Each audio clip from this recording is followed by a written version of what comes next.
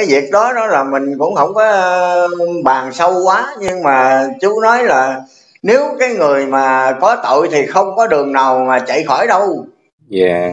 Dù ngày, nay người ta không ờ, không bắt thì ngày mốt người ta cũng bắt thôi chứ không có đường nào chạy khỏi ờ, pháp lực công an. Bây giờ nghiệp vụ người ta hay lắm.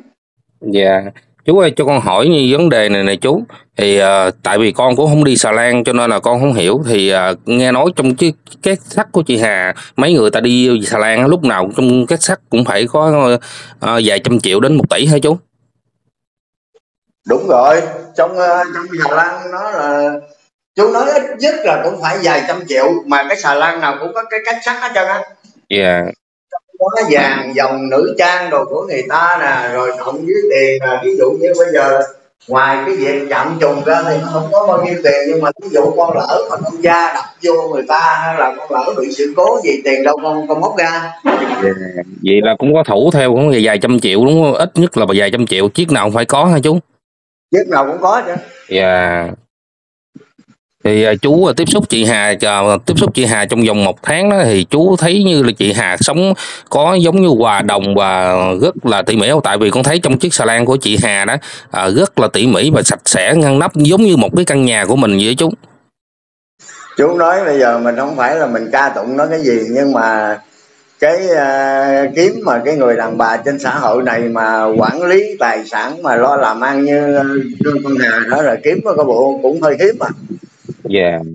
Ờ, đàn bà mà nó giỏi cực kỳ bây giờ đó là chỉ cần một thằng lính với nó là ôm cái xà lan đi rồi đó là chú thấy rồi đâu phải chú bây giờ ờ, đàn ông nhưng mà hồi nhỏ thì cỡ bằng chừng năm mươi bốn mấy trở lại thì còn làm được chứ bây giờ mà tuổi này mà con đưa chú ôm xà lan thì chú chạy không được cây số tao đậu Dạ. Là chị Hà lái xe lái xà lan luôn hay sao chú?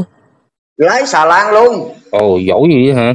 Ừ nó ôm coi lăng nó lái nhưng mà trong đó nó phải có cái thằng đệ tử đằng trước con biết không Dạ. một là nó quay neo lên hai là thí dụ như nó đi sông lớn thì thôi còn cái sông nhỏ thì nó phải có một thằng lính nó đứng mũi nó gặp Dạ. tới ngã ba ngã tư nó nhìn coi các cái xe xà lan kia nó có đổ lại không Dạ. bị cái chiếc xà lan nó dài mà cái à, cái ờ, không có một thằng lính mà nó xây chở tiếp thì ờ, nó chỉ đứng nó quan sát rồi tiếp rồi thì làm sao mà mà vận chuyển được Dạ. lúc nào cũng có thằng lính ở dưới đó Có khi nào là lúc mà tấn về xong rồi chị Hà cho lính nó nghỉ không chú? thí dụ như mà ờ, theo chú nghĩ là ngay cái bữa mà mà mà nó xảy ra cái, cái câu chuyện đó đó Dạ. là chắc thằng lính á, là nó phải có ở dưới xà lan thí dụ như là trường hợp mà người ta điện hàng nó điện là mình phải rời bến liền Dạ. Mình đi ờ, đi bốc hàng liền cho người ta thì lúc nào cũng có thằng lính ở dưới xà lan mà ví dụ như con Hà nó đi công chuyện nó về nó thăm nhà nó đi Dạ. thì phải có thằng lính ở đó để nó coi chừng xà lan cơm nước đồ Ờ. lúc nào cũng có thằng đó nhưng mà con bây giờ là thí dụ như nghiệp vụ công an người ta phải phải biết là trong cái ngày hôm đó là thằng lính nó có với xà lan hay là không đó vậy thôi nếu Dạ. mà có là mọi mọi chuyện gì lòi ra hết Tại vì à, con cũng có nhận được nhiều cuộc gọi của bên cái à, những anh em mà làm ở trong kho 10 á, theo kho 10 gì ở dưới tại vì con cũng không biết kho 10 nằm đâu cho nên là à, nhiều người đã tới gọi nói là à, mà cách đó hai một hai hôm là có hai vợ chồng có xảy ra ẩu đả ở chỗ kho 10 rồi. à, thì bây giờ nói chung là cái anh này thì anh ăn chơi cờ bạc thì bây giờ anh về anh moi tiền vợ anh không có thì buộc anh phải gây tới cái vụ đánh đập thôi không có đường nào khỏi Dạ, thì có bạn của chị Hà mà bà vợ vợ của anh đó là bạn của chị Hà. Thì anh đó cũng làm bên ngành y đó. Thì anh cũng có gọi cho con nói là cách nay khoảng một năm tháng thì à, Tuấn này cũng bỏ đi theo một cái người nào đó ờ, mới quay về đây làm thôi mấy chuyến thôi. Ba chuyến thôi chuyến thứ ba là là xảy ra chuyện đó. Hồi cái lúc mà mà chú ờ, chú cẩu hàng cho nó ở biên giới á. Dạ là trong cái thời điểm đó là chú ờ, gặp thằng Tuấn có được có một lần nhưng mà gặp là chú ở bên xà lan bên kia nó ở bên này ờ, chỉ nhìn thấy vậy thôi chứ còn không có tiếp xúc nhau. Dạ. Còn ở với Hà thì tiếp xúc nhiều với con nhỏ ờ, con gì cũng bạn Hà nó quê ở Bến Tre á. dạ. Tại vì trong cái thời điểm chú cẩu ở đó là tới 6 chiếc xà lan lận. Dạ ờ, nhưng mà xà lan với xà lan nhau thì Hà nó bạn bè với nó thì nó thân nhiều hơn. Còn chú là cái người khách hàng ờ, mới gặp lần đầu tiên. Dạ. Thì cũng nói chuyện với cái tư cách là và mối mang làm ăn rồi để kết hợp rồi xin số điện thoại qua lại để rồi có gì gọi qua gọi lại thôi. Dạ. Vậy là ừm, khi mà chú gặp đó là có một bạn chị Hà đi theo nữa ha có có có thằng à, đó có chừng 20 22 tuổi trở lại. Dạ là người theo theo phụ ờ, chị Hà ha chú? Thằng đó đi theo phụ ngài đó thằng đó là tướng ốm lùn tướng ốm lùn tóc hơi tóc anh để hơi hơi hơi hơi hơi, hơi dài dài cái hót sau. Dạ. Ừ. thì bây giờ Tuấn còn lên ờ, thách đấu rồi hôm đó là nhậu à có nhậu rồi. À, lên thách đấu với một cái anh YouTube là chơi 5 5 tỷ luôn. Mà không biết tiền đâu ra có 5 tỷ để à, đi cái, đấu. à, cái thằng à, youtube cái thằng à, thằng gì thằng à, thằng, thằng gì quê nó ở phú quốc thằng gì? Dạ. Chú có coi cái đoạn clip đó là thách đấu 5 tỷ rồi. Chú có coi hết có có coi Dạ. hết cái đoạn clip đó rồi có nghe là mở cái cuộc ghi âm lại thằng tính nó nói chuyện với thằng đó luôn. Dạ bây giờ là anh ờ, bỏ tôi bỏ ra 5 tỷ nếu mà tôi có tội gì đó thì anh lấy 5 tỷ còn nếu mà tôi không có tội thì tôi lấy anh 5 tỷ. Dạ. Cái đó chẳng qua anh nổ thôi. Dạ. Trời ơi ờ, anh có cái cục cái con cặt không chứ làm gì có 5 tỷ. Đúng rồi tại vì hôm đó là con có đưa cái clip đó lên thì à, có một cái người mà hôm đó là bạn của con Tấn là nhậu chung. Nói chung bạn là con hỏi tên nhưng mà không nói. Nó hôm đó nó nhậu xỉn rồi nó uống cả thùng rồi nó bây giờ xà lan nó giờ không ai mướn hết trơn đó cho nên là những anh em youtube mà đưa lên cái bên chị Hà đó thì nó giống như nó dạng nó triệt cái đường sống của nó đó rồi xong rồi nó tức nó lên nó nói bây giờ theo chú biết theo như chú biết là bây giờ ờ, cái này là chú tự chú nhận thức thôi nha chứ còn Dạ. ờ, hiểu hiểu biết thì không biết chú Dạ. nhìn ờ, con nhìn cái thằng tướng cái thằng tính đó, đó. theo Dạ. chú đoán một là trình độ văn hóa thấp dạ hai là đạo, đức cũng không. Dạ thứ ba nữa là mình nói và mình làm việc theo ý mình chứ không có chịu lắng nghe học hỏi người khác. Dạ anh đó là cái nhìn ảnh cái bản chất của ảnh là mình biết rồi. Dạ anh đó là anh chỉ dùng những cái từ mà mà ờ, dân chơi xã hội đen rồi thôi chứ còn ảnh không có ảnh không Con có nghe- nói. Con nghe nói cái khu ở gần đó nghe, nghe nói ờ, dòng họ ai cũng sợ mà nổi tiếng quá mà Và hôm qua hôm kia gì đó có cái ờ, ông đó chú có nghe cái đoạn clip là ông ở cách nhà Tính có 10 mét gì đó mà ông lên ông ông nói mấy cái câu đó. Tao không biết ông đó bữa nay còn không. Dạ nói ờ, anh em dòng họ nó dữ dằn lắm nổi tiếng lắm. Mạng yếu hay gì rồi dạ mạng bên con yếu với chú. Tại có người ờ, khán giả gọi á.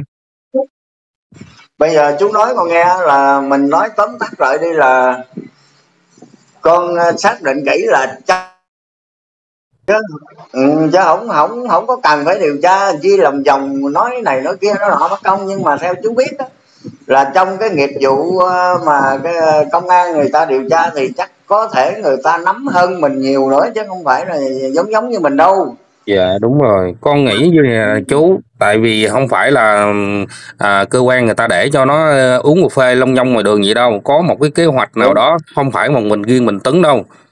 Bây giờ chú ờ, nói thiệt với ờ, con đó là chú đã xem nhiều cái vụ án mà kể từ ngày làm ra được cái vụ án này. Dạ.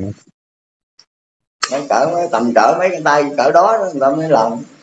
Nhưng mà theo ờ, cái này chú thấy không có cần phải tới cỡ mấy cái tay đó đâu. Bữa hay bữa gì qua lễ này bắt mẹ rồi Dạ, tại vì đây là nó, nó sự thật ờ, con thấy như là nó nó không ai mà tại tại vì con là một người chuyên đánh cái tin nóng đó chú. À, thi tìm thi thể trên sông á, là khoảng là trễ chậm nhất là khoảng à, 5 ngày 6 ngày là nó nổi lên rồi. Trong khi chị Hà là đúng 12 12 không không Mười nó, hai- gần nó, 12 người. nó, nó ờ, thí dụ là trong 3 ngày là nó nổi rồi. Dạ. Nhưng mà tùy theo cái thích nghi của cơ thể thí dụ có những người người ta nổi thẳng luôn còn có dạ. những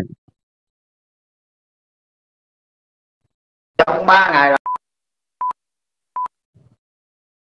nhưng mà khi mà nổi á, là cái người mà mà mà chết đuối dưới sông mà nổi mà vớt lên là tôm không ghĩa thì cá cũng ghĩa cá không ghĩa thì ốc cũng ăn. Dạ. Chứ đâu mà nguyên vẹn được có người người ta nói là thi thể mình mà chờ, nếu mà nằm dưới sông mà khoảng ba bốn mét thì có tôm cua ăn. Còn như cái sông ở cầu vòng cống á, thì nó khoảng ba bốn chục mét thì à, không có tôm ăn. Có nó thực sự cái câu đó có đúng không chú? Trời ơi đâu có. Cái à, nói chung là trước khi chết đó trong vài tiếng đồng hồ là nó cái cái thi thi thể nó nằm sát đáy luôn. Yeah. Dạ. nó chìm sát đáy luôn rồi sau qua cái ngày thứ hai đó là bắt đầu nó nó nổi nhưng mà nó nổi trên dưới khoảng chừng 2 mét hoặc là 3 mét nước thôi là bắt đầu nó trôi. Yeah.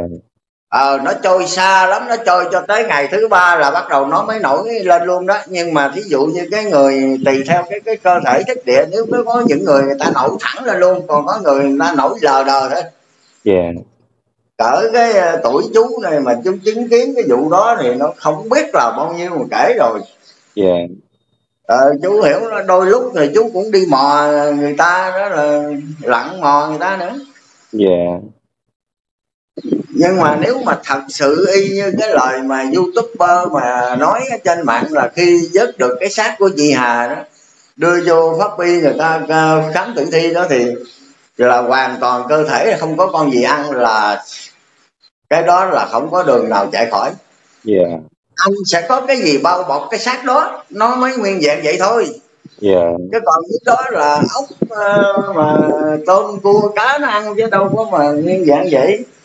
Dạ. nhưng mà tại vì trong cái thời điểm đó mà chú mà có ở đó mà chú chứng kiến cái cái cảnh mà công an người ta mà mẫu tử thi đây mà chú dòm cái là chú sẽ đánh giá một trăm phần trăm bây giờ cá bao nhiêu tiền chú cũng cá dạ tại vì à, khi mà người nhà kế bên đó thì nghe nói là phổi không có nước nè và cuốn họng vẫn khô và cái cái bên gò má thì nó bị sụp vô.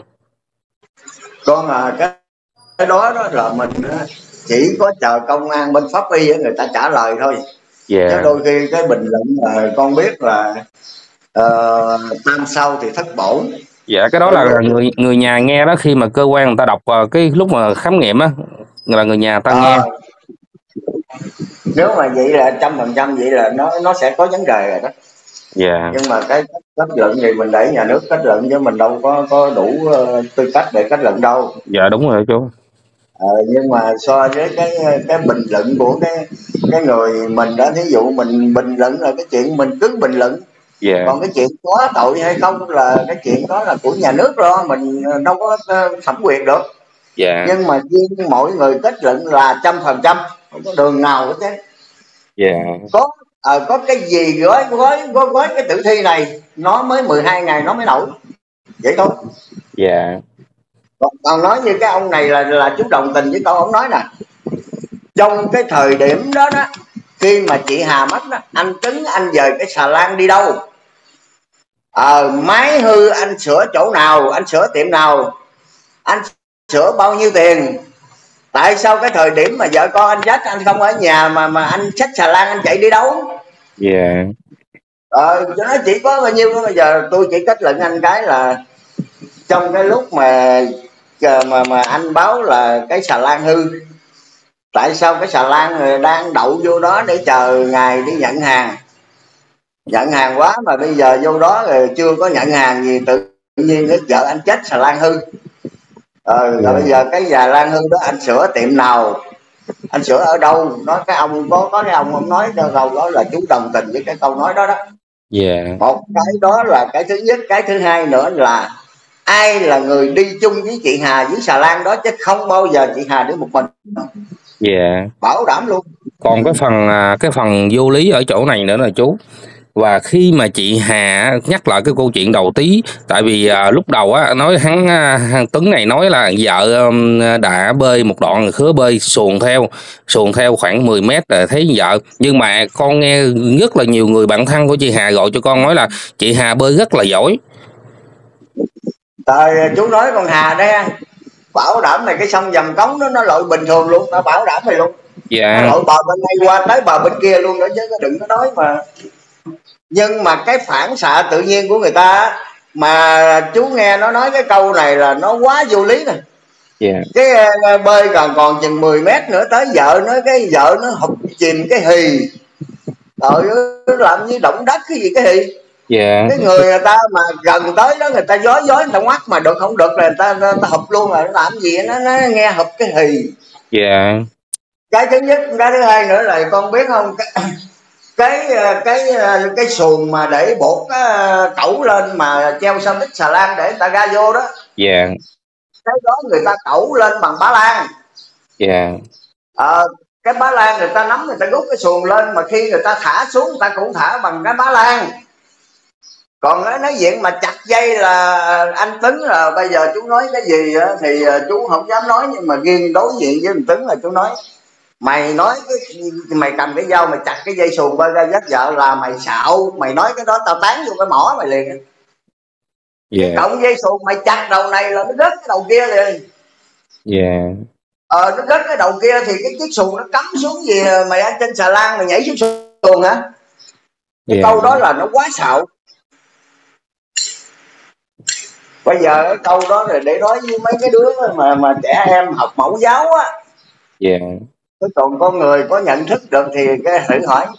Mà mình nên nói cái đó là nguyên cái đoàn xà lan ta nghe được người ta còn cười thêm. Dạ. Để cái cái cái xuồng treo vậy rồi lấy cái dao chặt chặt có một mối dây mà rớt cái xuồng được. Cái chuyện đó là không có. Không biết là anh lính quýnh anh nói sao mình không biết. Dạ. Chứ còn nói cái đó là nó quá vô lý. Dạ con khi nào đó, nó cầm cái à, cầm dây nó rút cái bá lan nó thả xuống rồi cái thuyền đó nó mới giữ thăng bằng. Rồi xong á là con mới đi trên cây thang con đi xuống con bước xuống cái xuồng. Dạ Ờ, chứ còn nói vụ mà cái xuồng đó mà cái cẩu bá lan nó đang treo đó mà anh cầm cái dao anh chặt là nó sẽ rớt một đầu thôi. Còn đầu nó treo lòng thòng đó nó rớt xuống luôn lại xuồng chìm luôn. Dạ thì nói chung là Tuấn này à, có những cái lời nói là rất là nhiều lời nói không đúng thôi chú ha đúng rồi. Dạ. không biết là vợ ảnh là có tự giận hay là sao mình không biết nhưng mà anh nói là hoàn toàn không có nghe nó nó nó nó không có đồng tình được câu nói nào dạ. Nếu mà người cái, cái người nhất cái hai nữa là dạ chú nói đi ạ. Bây giờ giờ vợ anh chết ở đó mà đi xuống dưới dưới, dưới ờ, mà mà xuống dưới gì dưới cái đống trà gì ở đâu dưới ờ, dưới gì à, quên rồi để nói nói chung là xa chỗ đó đó. Lục bình Ờ, rồi đó. dạ. tắm cái đám lục bình đó làm gì đó. Cái câu đó làm cái chuyện đó là thấy nó không phù hợp. Dạ. Cái thứ hai là cái bắt đầu là khi ảnh nhận được cái câu buộc điện trên này à, điện xuống ảnh là ủa ca- nó ca- nó nổi lên rồi hả? Đúng ra mà vợ ảnh vợ chồng mà nếu không có gì ảnh nghe cái cút điện đó là ảnh té nghe xỉu luôn. Dạ. Chứ Tại vì đó mà ảnh còn đủ con Ờ. thấy ờ, kỳ lắm chú tại vì khi mà người vợ mình đã mất cho dù mình à, không còn thương yêu vợ mình đi cho dù như vậy thôi chú? Nhưng mà thì mình ở cũng hai mặt con rồi. Mà từ đầu của đầu à, lúc mà chị Hà mất tới khi mà đã đi chôn về nơi an nghỉ cuối cùng á thì con nhìn cái khuôn mặt của Tuấn này nó không có gọi là một cái gọi là là buồn bã hay này nọ chú. Đúng rồi bây giờ Dạ, chú nói con vô nghe là lắm. nếu mà sống chú cũng ờ, có gia đình có vợ con con cũng vậy xã hội này ai cũng có ngoại Dạ. trừ cái ông thầy tu thôi. Dạ. Bây giờ á vợ mà nó chết như vậy đó tôi đến nhà tôi đem về an táng vợ con rồi tôi chôn vợ cất rồi con tôi sẽ tôi ôm tôi khóc năm mười ngày nửa tháng tôi chưa bước ra khỏi cửa nổi nữa chứ cái đừng có nói. Dạ. Vợ con thì chết ở đây rồi á là mới vớt xác được rồi anh xách xà lan anh chạy đi đâu? Dạ. Bây giờ cái xà lan nó ngoại trừ con gái là nó lủng lỗ nó chìm đi rồi tôi cũng bỏ mẹ nó đi rồi để lo cho vợ con xong rồi hả? Tính tới cái chuyện đó. Đó dạ là nay vợ anh rồi vớt xác lên công an mẫu tử thi con cái anh ở nhà không biết sao tự nhiên em xách xà lan đi đâu? Đi sửa máy. Dạ. Đúng là cái câu đó nó không có nghe nó không có, nó không có tình lý gì hết trơn dạ. Nó không có cái tính chất thuyết phục con người nữa đó là bậy lắm. Dạ. Nên chú nghĩ là chắc nó cũng có vấn đề gì thì mình cứ bình luận đi nhưng mà đừng có bình luận sai pháp luật là được rồi. Dạ đúng rồi chú. Ờ, chứ còn bây giờ ví dụ như mình ví dụ như cơ mình bình luận mình nói anh Tấn là có tội thì công an người ta bắt bẻ mình được đó. Tại sao tôi là đại diện cho một cơ quan pháp luật mà tôi chưa biết anh Tấn có tội hay không mà anh chú dám nói anh Tấn có tội? Dạ đúng rồi cái đó là mình sai đó. Dạ. Nhưng mà ví dụ mình bình luận là cái đó là tôi không biết là cái gì. Nhưng mà tôi nghe những cái câu nói đó là nó không thuyết phục với tôi rồi đó. Dạ. Mình chỉ nói vậy thôi. Dạ. Nghe cái đó thì anh nói chuyện anh nói với con nít. Tự là nay vợ chồng anh sống Dạ, à, nãy giờ cô chú anh chị à, xem những cái hình ảnh à, cuối cùng trước khi à, mấy ngày à, chị Hà đã té à, xà lan à, do một người chú à, à, làm chung với chị Hà à, cũng à, khoảng à, một tháng của anh chị. À, những cái video mà chú cung cấp là đang ở cửa cái cửa khẩu hồi nãy chú nói à, chọc cũng quên luôn anh chị thì uh, clip chọc uh, đến đây cũng uh, xin kết thúc. À, quý bà anh chị nào có những cái video có những cái thông tin gì hãy cứ uh, gọi cho chọc chọc sẽ um, xem xét và sẽ đăng tải những cái uh, nội dung và câu chuyện của quý bà anh chị lên kênh của đầu chọc vlog. Thì uh, clip chọc cũng đến đây xin kết thúc. Quý bà anh chị xem mà chưa đăng ký hãy đăng ký ủng hộ chọc và chọc tiếp tục sẽ làm về cái câu chuyện của ừ, về cái um, chị Hà Thái Thái Lan. Và à, mến chào tất cả quý bà anh chị. Chúc quý bà anh chị một có một ngày vui vẻ và sức khỏe và giàu ạ.